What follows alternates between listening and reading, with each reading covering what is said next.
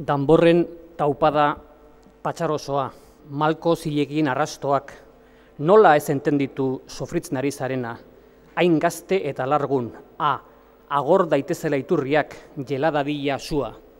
Baina ez da bizitza hemen bukatzen, orain, antxonen onerako. Eta zuri gogor egiten bazaizu ere, pentsatu ezin baduzu ere, beste gizon bat bilatu beharko zenuke. Hori bai, antxonen onerako.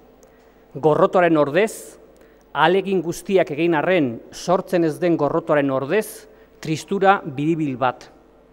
Txema bueltatuko balitz, urrezko akazia guztiak estia dariela leiotik sartzen.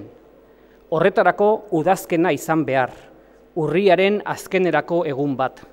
Udazkena, baina antxonek eta nire buruaren gainean, hiletik bizkarrera oraindik udako latuak, baina bularraren niretik antxonenera, mendaren usai bizia, loretan, eta hobe San Jose lore apalak, burutik bera, ustekaberik gabe, baina horretarako udaberria izan behar. Ez, hobe udazkena. Enaiz sekula beste udaberri batera helduko, sustraiak lurraren sabeleko suzko odolak, odolaren bila, zangoak eta eskuak eguzkiak lurrean egiten duen zirkuluaren gainean, eguzkia mugitzen den eran, beroaren atzetik.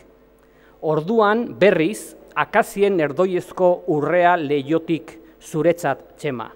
Eta antxon eta ni salako leioaren aurrean lurrean eserita. Edo hobe, leioan marrubiak natarekin jaten, natarekin eta algarekin, sua, elurra eta algarekin.